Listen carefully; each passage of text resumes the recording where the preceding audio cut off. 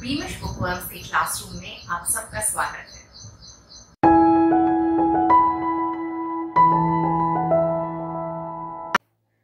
बच्चों, आज हम क्लास टेन का chapter a village cricket match पढ़ेंगे और समझेंगे।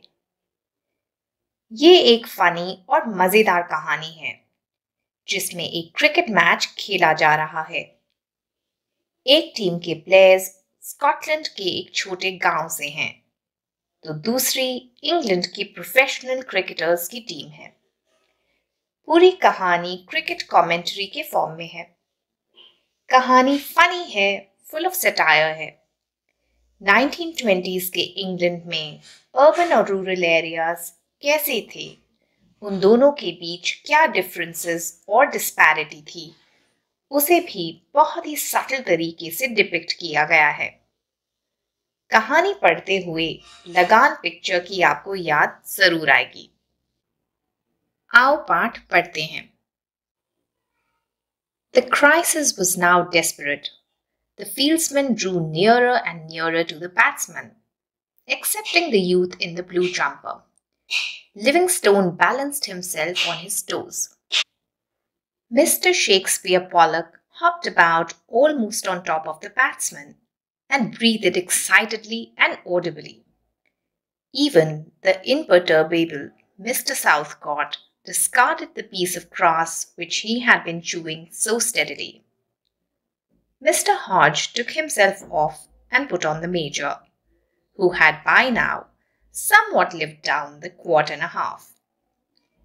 The batsmen crouched down upon their bats and defended stubbornly. A snick through the slips brought a single. A ball which eluded the publisher's gigantic pads brought a bye. A desperate sweep at a straight half volley sent the ball off the edge of the bat over third man's head, and in normal circumstances would have certainly scored one, and possibly two.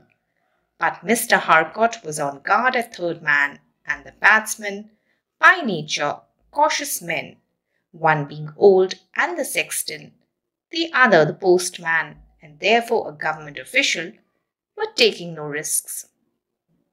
Then came another single of a mishit, and then an interminable period in which no wicket fell and no run was scored. It was broken at last, disastrously, for the postman struck the ball sharply at Mr. Pollock, and Mr. Pollock picked it up and, in ecstasy of zeal, flung it madly at the wicket.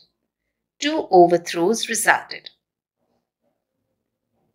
Audible जो सुनाई दे imperturbable very calm cool crouch hunch over झुक कर बैठना snick cut elude, evade, हाथ में न आना। Sexton is a church official interminable endless खत्म न होने वाला। Ecstasy great happiness zeal enthusiasm उत्साह। मैच बहुत ही रोमांचक और नील बाइटिंग मोड पर था। गाँव वालों की टीम बैटिंग कर रही थी। इंग्लैंड टीम के सभी फील्डर्स एकदम अलर्ट थे। एक एक रन को बचाने के लिए बिल्कुल रेडी बस एक नौजवान था जो थोड़ा कैजुअल था। लिविंगस्टोन बहुत ही नर्वस था। उसने खुद को एक्सपर्ट तरीके से पैर के पंजों पर बैलेंस किया हुआ था। रन बचाने के लिए एकदम तैयार। मिस्टर पॉलक भी नर्वस एक्साइटमेंट में बैट्समैन के इर्द गिर्द हॉप करते हुए लंबी लंबी गहरी गहरी साँसें खींच रहा था इतनी ज़ोर से कि आसपास खड़े सभी को सुनाई दे रही थी The atmosphere was so tense that the usually calm and composed Mr. Southcott भी totally focused और alert था जिस खास के तिनके को वो मस्त होकर आराम से चबा रहा था। उसने उसे फेंक दिया और अलर्ट हो गया। अपनी आँखें बैट्समैन पर गढ़ा ली। मिस्टर हॉज, जो विजिटिंग टीम का कप्तान था, उसने खुद को हटाकर मेजर को फ़ील्ड पर लगा दिया। मेजर ने शायद हाफ़ टाइम में अल्कोहल पी थी पर लकीली अब उसका नशा कुछ उतर गया था। वो कुछ सोबर था। बैट्समैन डिफेंसिव खेल रहे थे। काफ़ी विकेट्स जो गिर चुके थे। और ज़्यादा विकेट्स खोना घातक हो सकता था। कॉशियसली एक सिंगल लिया गया। फिर एक बाय मिला। तीसरी बॉल पर बैट्समैन ने स्वीप शॉट मारा। दो रन तो मिलने चाहिए थे। एक रन तो पक्का। पर मिस्टर हार्कॉट बहुत एक्सपर्ट फील्डर था। उसने एक्स्ट्रा रन बनने नहीं दिया। बैट्समैन भी बहुत सावधान और केयरफुल प्लेयर्स थे। अपनी विकेट को बचाकर खेल रहे थे। एक बैट्समैन बूढ़ा चर्च का ऑफिशियल था तो दूसरा एक पोस्टमैन एक सरकारी मुलाजिम। Obviously both were careful and not risk takers एक रन तो फिर भी बना। काफ़ी समय तक कोई विकेट नहीं गिरा और ना कोई रन बना। फाइनली पोस्टमैन ने एक शॉट मारा। बॉल सीधी मिस्टर पॉलक के पास आई और रन आउट करने के लिए ओवर एक्साइटमेंट में उसने ज़ोर से विकेट की ओर फेंकी। कोई भी फील्डर बैकअप नहीं कर रहा था तो दो रन ओवर थ्रो में मिल गए। आगे पढ़े The scores were level and there were two wickets to fall. Silence fell. The gaffers, victim simultaneously of excitement and senility, could hardly raise their pint pots for it was past six o'clock, and the front door of the Three Horseshoes was now as wide open officially as the back door had been unofficially all afternoon. The Major, his red face redder than ever, and his chin sticking out almost as far as the Napoleonic. Mr. Glivies bowled a fast half volley on the leg stump. The sexton a man of iron muscle, from much digging, hit it fair and square with the middle of the bat, and it flashed like a thunderbolt, waist high, straight at the youth in the blue jumper. With a shrill scream, the youth sprang backwards out of its way and fell over on his back. Immediately behind him, so close were the fieldsmen clustered, stood the mighty Boone. There was no chance of escape for him. Even if he had possessed the figure and the agility to perform back somersaults, he would have lacked the time. He had been unsighted by the youth in the jumper.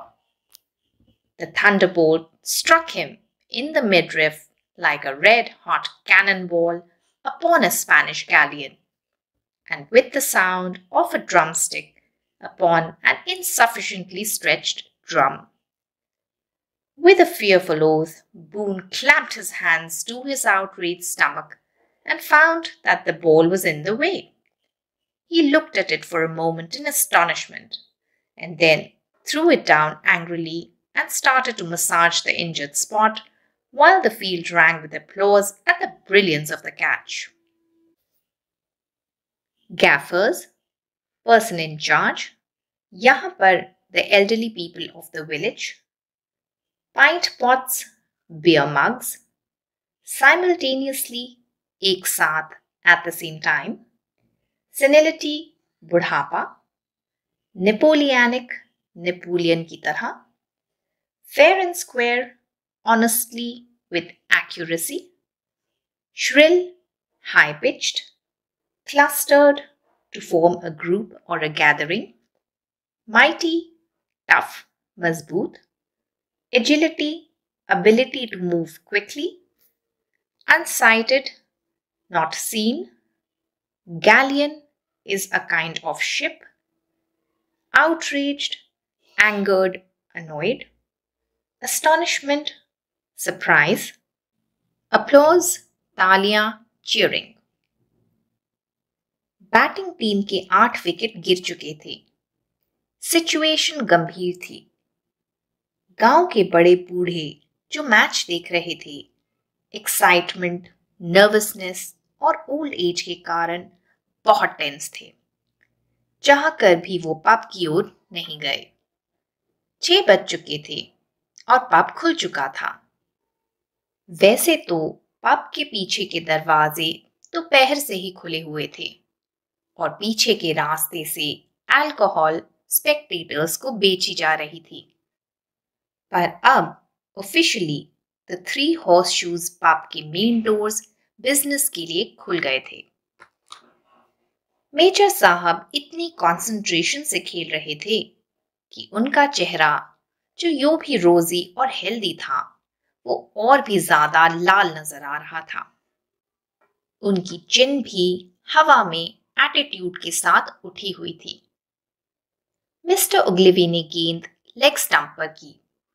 अब Sexton गाँव का solid हट्टा कट्टा आदमी था, जिसने सालों से digging करके लोहे जैसे सॉलिड मसल्स बनाए थे। वो इतनी आसानी से इतनी इजी बॉल को कैसे जाने देता? उसने खूब ज़ोर से बल्ला घुमाया और गेंद बिजली की रफ्तार से सीधे उस यंग फील्डर के पास गई, जिसने ब्लू जंपर पहना हुआ था। बेचारा डर के मारे ज़ोर से चीखा और खुद को बचाने के लिए पीछे हटा और नीचे गिर गया। सभी फील्डर्स रन बचाने के लिए ऑलमोस्ट चिपक चिपक कर खड़े थे। उस युवक के बिल्कुल पीछे पून खड़ा था। पून अपनी बॉडी और ताकत में बिल्कुल भीम जैसा था। अब ऐसा भारी भरकम फिजिक का आदमी obviously can't be fast on his feet वैसे भी रिएक्ट करने के लिए उसके पास बिल्कुल टाइम नहीं था। अब वो सर्कस का एक्रोबैट भी नहीं था। कि समर सॉल्ट मारकर बच जाता। He anyways couldn't see as the young man was in his way.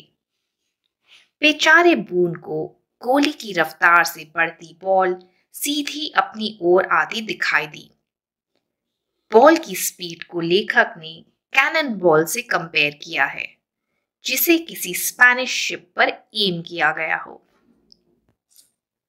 Ball के इम्पैक्ट के साउंड को लेखक ने कंपेयर किया है उस साउंड से, जब किसी ऐसे ड्रम को बजाया जाए, जिसकी स्किन पूरी तरह से फैली हुई नहीं हो। बून के मुँह से कुछ कस वर्ड्स निकले, जब उसने रियलाइज़ किया कि उस पर हमला हुआ है। बॉल को उसने गुस्से से पकड़ा और विदाउट एक्चुअली रियलाइजिंग इट उसने बैट्समैन को कैच कर लिया था। Full of anger he threw the ball on the ground अपने बेचारे टमी को फिर उसने मसाज किया। क्राउड ने उस ब्रिलियंट कैच को अक्नॉलेज करते हुए ज़ोर से तालियाँ बजाई। चारों तरफ़ तालियों का शोर था। उन्हें ये रियलाइज़ नहीं हुआ कि बून ने तो सिर्फ़ अपने पेट को अत्याचार से बचाने के लिए बॉल को पकड़ा था। He had no intention to catch the ball to take a wicket आगे पढ़ें Donald walked up and shyly added his congratulations. Boone scowled at him. I didn't want to catch the darn thing, he said sourly, massaging away like mad. But it may save the side, ventured Donald. Blast the side, said Boone. Donald went back to his place. The scores were level, and there was one wicket to fall. The last man in was the blacksmith, leaning heavily upon the shoulder of the baker who was going to run for him, and limping as if in great pain. He took guard and looked around savagely. He was clearly still in great rage. The first ball he received, he lashed at wildly and hit straight up into the air to an enormous height. It went up and up until it became difficult to focus on it properly against the deep cloudless blue of the sky. And it carried with it the hopes and fears of an English village. Up and up it went. Then, at the top, it seemed to hang motionless in the air, poised like a hawk, fighting, as it were, a heroic but forlorn battle against the chief invention of Sir Isaac Newton. And then it began its slow descent. Scowl, angry expression, moo banana, sourly in a way that is unfriendly or easily annoyed, savagely, fierce, violent manner, जंगली तरीके से lashed at, criticize, get angry with, poised, positioned, hawk, baz pakshi, forlorn, unhappy or abandoned or lonely, descent, नीचे की ओर जाना बून के teammate ने आकर उसे कंग्रेचुलेट किया तो बून ने चिढ़कर उसे जवाब दिया कि वो तो कैच पकड़ना ही नहीं चाहता था। डोनाल्ड ने कहा, मगर ये कैच तो बहुत ज़रूरी था। इससे हमारी टीम की पोजीशन स्ट्रांग हो गई। अब तो हम आराम से मैच जीत सकते हैं। पर बून ने बहुत रूडली जवाब दिया कि मुझे टीम जीते या हारे उससे कोई मतलब नहीं। डोनाल्ड की बोलती बंद हो गई। और वो चुपचाप अपनी फील्डिंग पोजीशन पर वापस आ गया। अब इंग्लैंड की टीम और जीत के बीच सिर्फ़ एक विकेट का फासला था। The scores were level last batsman लोहार था। उसे चोट लगी थी, इसलिए उसे एक रनर मिला था। रनर था बेकर लंगड़ाते हुए बेकर के कंधे का सहारा लेते हुए वो मैदान में उतरा। उसने चारों ओर गुस्से से घूरते हुए अपना गार्ड लिया। पहली बॉल पर ही उसने इतनी ज़ोर से बल्ला घुमाया कि बॉल हवा में बहुत ऊंचाई तक गई। कुछ पल के बाद वो आकाश के ब्लू कलर में ब्लेंड हो गई। It was difficult to see where it was सभी विलेजर्स की उम्मीदें, आशाएँ और डर उस बॉल से जुड़े थे। बॉल कहाँ गिरेगी? कोई फील्डर तो उसे कैच नहीं कर लेगा। जीतने के लिए they needed just a single ball को हवा में उठाना ही नहीं चाहिए था। अब तो पक्का विकेट गिरेगा। वैसे भी नौ विकेट तो गिर चुके हैं। क्या होगा? पता नहीं। जब ऐसी खतरनाक डिफ़िकल्ट सिचुएशन हमारी लाइफ में आती है तो ऐसा लगता है समय रुक गया है। आगे बढ़ ही नहीं रहा। गाँव वालों को भी ऐसा लगा जैसे गेंद हवा में रुक गई है पॉज हो गई है। वो बाज पक्षी जैसे हवा में उड़ते हुए नीचे चल रहे बैटल को देख रही है। Sir Isaac Newton had formulated the gravitational theory जब एप्पल पेड़ पर से नीचे गिरा, तब उन्हें समझ आया कि earth exerts a force on all objects कोई भी चीज़ ऊपर से हमेशा नीचे गिरती है। ठीक न्यूटन के एप्पल की तरह गेंद भी नीचे धरती की ओर गिरने लगी। हालाँकि बॉल ने बहुत जद्दोजहद की। एक अकेली बैटल लड़ी ग्रेविटी के against it tried not to fall but gravity के आगे उसे झुकना ही पड़ा नीचे गिरना ही पड़ा आगे पढ़ें In the meanwhile, things were happening below, on the terrestrial sphere. Indeed, the situation was rapidly becoming what the French call mouvementé.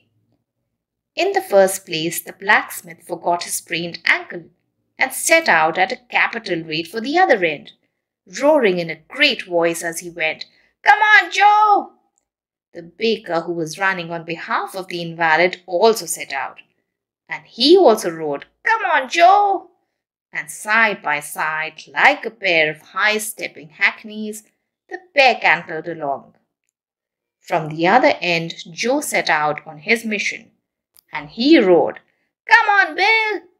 So all three came on and everything would have been all right.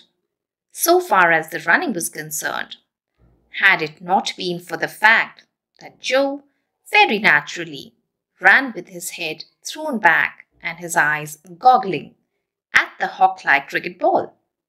And this in itself would not have mattered if it had not been for the fact that the blacksmith and the baker also, very naturally, ran with their heads turned not only upwards but also backwards as well, so that they too gazed at the ball with an alarming sort of squint and a truly terrific kink in their necks. Halfway down the pitch, the three met with a magnificent clang, reminiscent of early happy days in the tournament ring at Ashby de la Zouche and the hopes of the village fell with the resounding fall of their three champions. Terrestrial, related to the earth, movemente, eventful, full of variety, capital rate, fast rate, invalid, weak or disabled person, canter, jogging, movement like a horse, high stepping hackney, high jumping horse, goggling, staring in awe and amazement, kink, stiffness in the muscles, reminiscent, reminding one of something, resounding, शानदार huge ball जब हवा में थी तब नीचे कुछ अलग ही drama चल रहा था बैट्समैन फील्डर्स सभी अलर्ट और पैनिकी थे ब्लैकस्मिथ उस गंभीर सिचुएशन में इतना नर्वस हो गया कि बिल्कुल भूल ही गया कि वो एक रनर के साथ बैटिंग कर रहा है। एक्साइटमेंट में वो भी भागने लगा। ये तक भूल गया कि उसके पाव में मोच आई थी। भागते हुए उसने अपने पार्टनर को भी रन बनाने के लिए ज़ोर से बुलाया। अब एक तरफ़ से बेकर और ब्लैकस्मिथ भाग रहे थे। तो दूसरी ओर से जो। There was absolute confusion as the three batsmen were running all at once. सब कुछ शायद ठीक ठाक ही चलता और हैप्पीली एवर आफ्टर भी हो जाता। अगर तीनों बल्लेबाज बॉल के साथ साथ एक दूसरे पर भी नज़र रख रहे होते। Unfortunately all of them looking only at the ball तीनों पिच के बीचों बीच इतनी ज़ोर से टकराए कि सभी को इंग्लैंड के फ़ेमस एशपी डेला जूश के जाउस्टिंग टूर्नामेंट की याद ताज़ा हो गई। जैसे कि जाउस्टिंग में दो अपोनेंट्स घोड़े पर सवार होकर अपनी लैंस की मदद से एक दूसरे से भिड़ते हैं और अपने अपोनेंट को लांस की ही मदद से घोड़े से गिराते हैं। ठीक वैसे ही तीनों ज़ोर से भिड़े। उनके टकराने पर दर्शकों का जो बचा कुचा उत्साह था, उम्मीद थी, वो चकनाचूर हो गई। अब तो मैच हमारे हाथ से पक्का गया। यहाँ पूरा होता है अ विलेज क्रिकेट मैच का पार्ट वन। पार्ट टू लेकर मैं जल्दी ही आऊँगी। पीमिश बुकवर्म्स की तरफ़ से आज इतना ही। Happy reading happy starting everyone I hope ये वीडियो आप लोगों को अच्छा लगा होगा। इन केस आपके कोई डाउट्स हैं कोई क्वेश्चंस हैं तो नीचे कमेंट सेक्शन में आप उनसे पूछ सकते हैं। थैंक यू फॉर वॉचिंग अगर आपको आज मेरे साथ सीखने में मज़ा आया तो प्लीज़ बीमिश बुकवर्म्स को लाइक और सब्सक्राइब करें। साथ ही में लगे बेल आइकन को ज़रूर दबाएँ ताकि मेरे चैनल की सभी नोटिफिकेशंस आपको मिलती रहें। Thank you for watching